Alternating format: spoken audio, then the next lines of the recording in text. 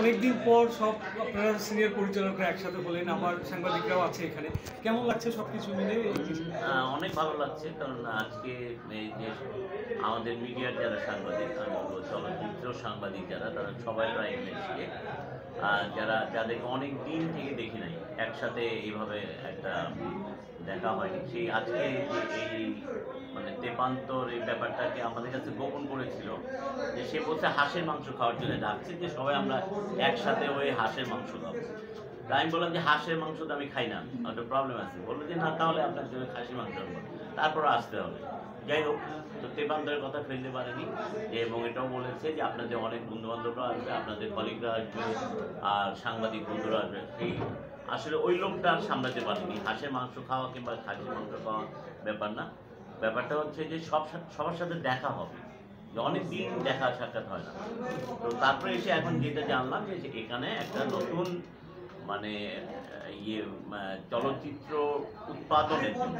একটা বিল্ডিং মানে এই বিল্ডিংয়ে সেখান থেকে ফিল্মের ডাবিং শুটিং এবং সব কিছুই কাজ এডিটিং সব কিছু কাজ এখানে করা যাবে। একটা পূর্ণাঙ্গ ছবি এখান থেকে বানানো সম্ভব।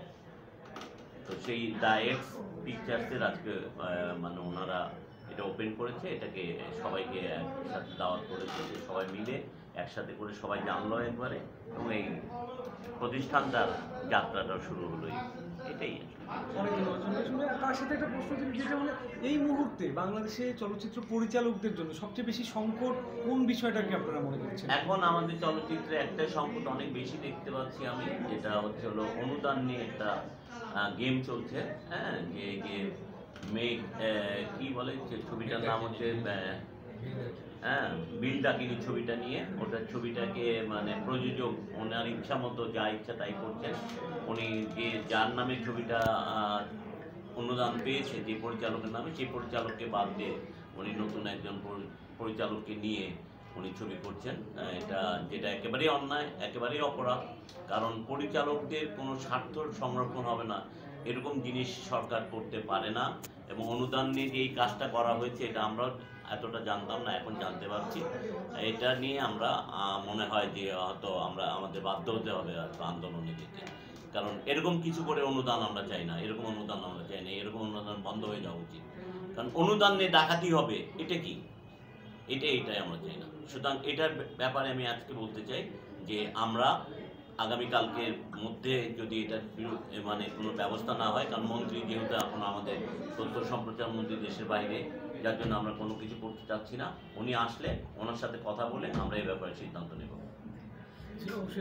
এইভাবে যে হুট করে একজন পরিচালককে তার নাম দেখিয়ে বা তার তার গুডউইলটাকে ব্যবহার করে একটা অনুদান পাওয়া তারপরে আবার তাকে সরিয়ে দিয়ে আরেকজনকে না এটা তো মস্ত বড় অপরাধ মস্ত বড় অপরাধ। এই এত বড় অপরাধ আর পরিচালকদের অস্তিত্ব বাংলাদেশের পরিচালকরা এতই একেবারে মানে মারা যায়নি সবাই যে একেবারেই যার যা ইচ্ছা তাই করতে পারবে।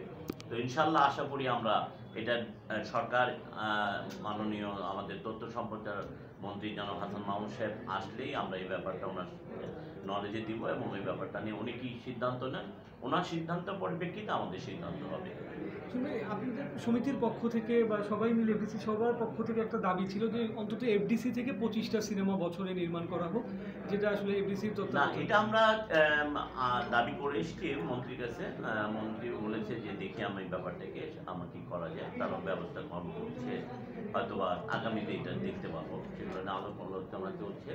যে কারণে এবারে তো বলল যে বিশটা ছবিকে অনুদান দিলাম, বারো কোটি টাকা দেওয়া হলো, প্রায় বারো কোটির উপরে।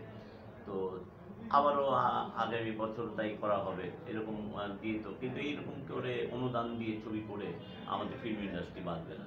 সুতরাং ফিল্ম ইন্ডাস্ট্রিতে বাঁচাতে হলে পারে যে যেগুলো আমরা পপুলার ছবি বলে থাকি পপুলার বিনোদন ধর্মী ছবি লাগবে।